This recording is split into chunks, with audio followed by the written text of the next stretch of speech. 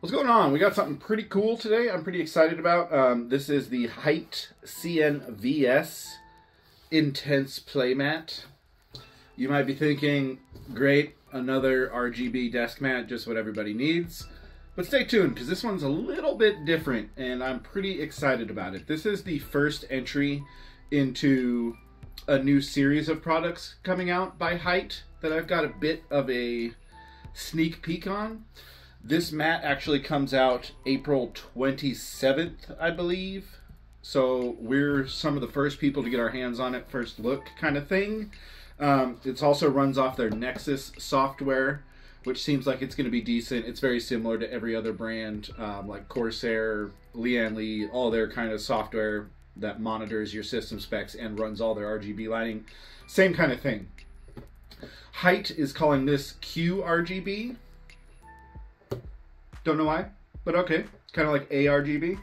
Um, so when this comes out, it's going to be about 120 bucks. They're on pre-order right now. If you want to get your hands on one right when they drop, um, it comes with the the desk mat, obviously, um, a quick start guide, and then all the little cables and that kind of stuff you need.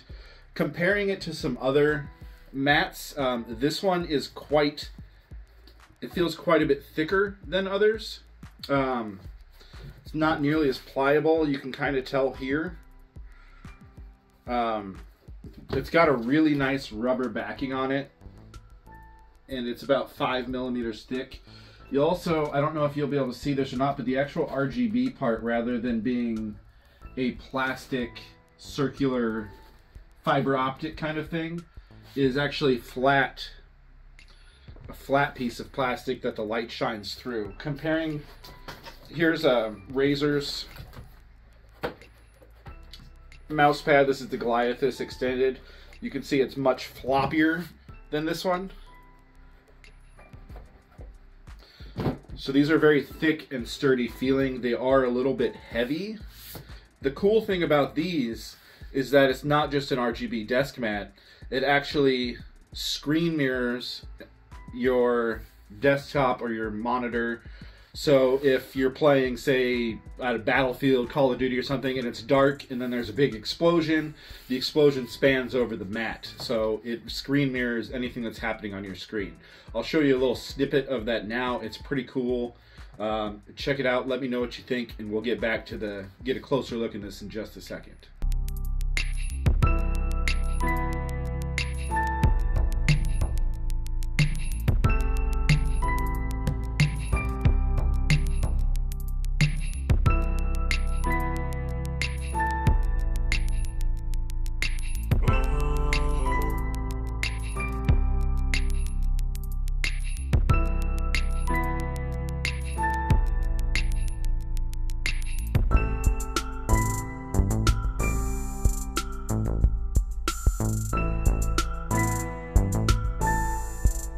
Bye.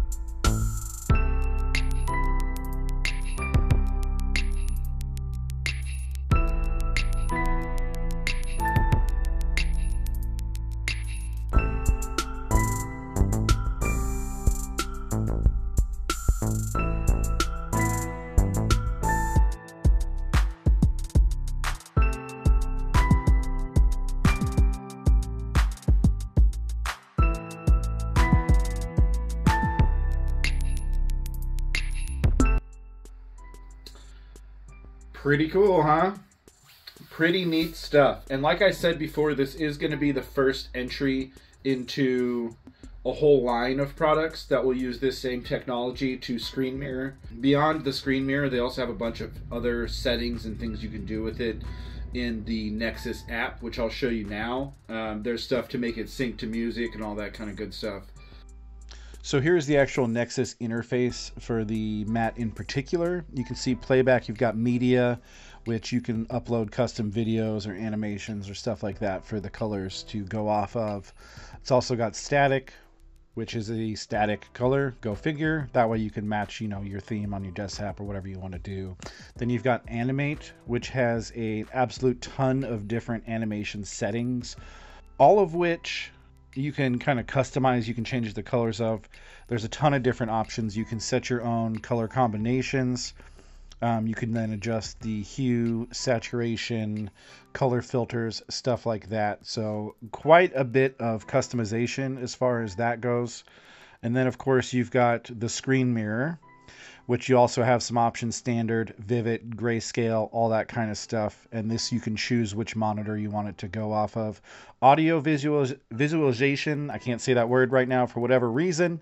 Uh, this is a black screen because I didn't have any audio playing. There was no music or anything going while I was recording this screen.